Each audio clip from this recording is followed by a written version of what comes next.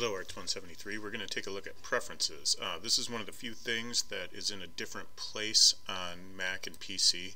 Um, I'm on a Mac and my preferences are right here. Uh, on a PC I believe it's under the edit menu and I do believe control U should work to bring up the uh, preferences pane anyway.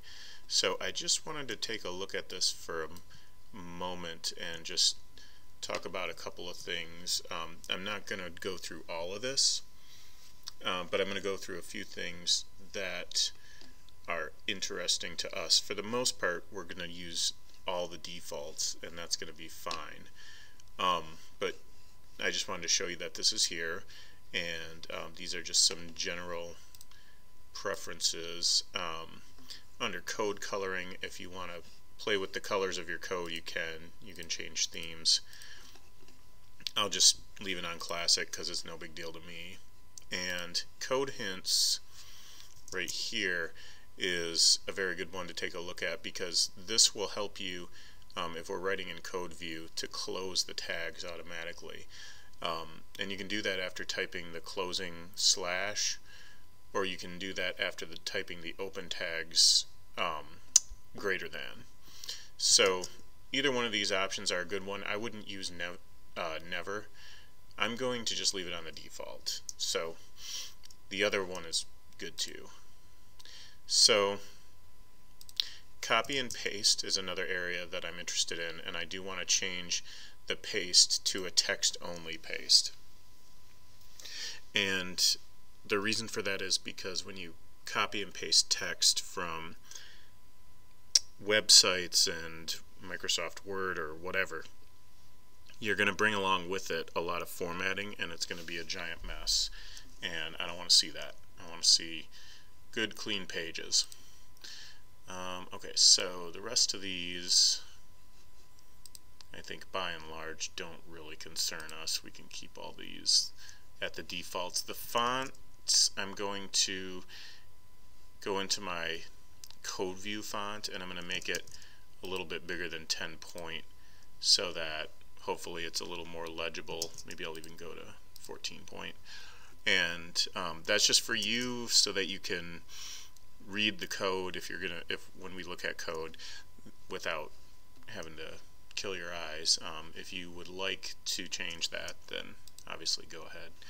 Um, I'm going to leave this stuff all at the defaults. The new document window is going to be left at the defaults if you're on Creative Cloud um, versions. That will be using the HTML5 default document type. If you're on CS6 or earlier, you need to change this. It'll probably start on HTML 4.01. I can't remember if it's transitional or strict, but it's going to be on one of these two. And I want to change the default document type to HTML5. Again, if you're on Creative Cloud, it's that automatically, so doesn't matter. Um, preview in browser is going to show up, or should show up, with whatever browsers you have installed. And we can set these as primary and secondary browsers and this really has no meaning other than to set to give it a shortcut key. So I'll give the Google Chrome um, actually I take that back I'll make Google Chrome my primary browser and I'm going to make Firefox my secondary browser and like I said the primary and secondary thing it doesn't matter it's just giving it a shortcut key one is Option F12 and the other is Command F12. If you're on a PC, it's going to be Alt F12 and Control F12. So that's all good.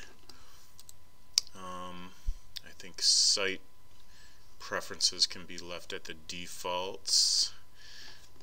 Uh, sync settings you won't see in any version earlier than Creative Cloud as far as I know.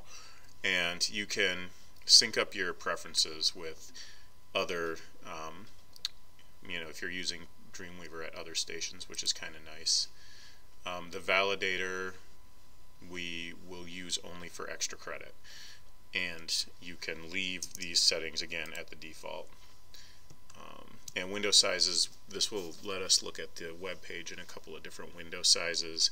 um, like smartphones and tablets and stuff like that, as well as typical computer screens. Again, um, just leaving it at the default, just letting you know these are here. So I'm going to click apply, and I want to do one more thing. Well, I guess it's applied, and I'm going to click close. I was expecting the window to close when I clicked apply, but apparently it doesn't do that in this version. Um, up here on the top right where it says um, extract, mine says extract, yours might be different. This is called the workspace, and in Creative Cloud there's only three of them. Other versions have different workspaces.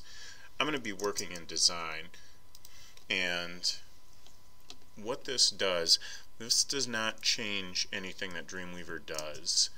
Um, what it changes is just what tools are being shown to you, what panels are being shown to you at any given time. So these are called workspaces, and you can use this as the default, which I'm going to do for these lectures, um, just for simplicity. But you can also tear these panels off, and that just means grab the tabs and move things around. And you can change things around to, you know, whatever you want it to be.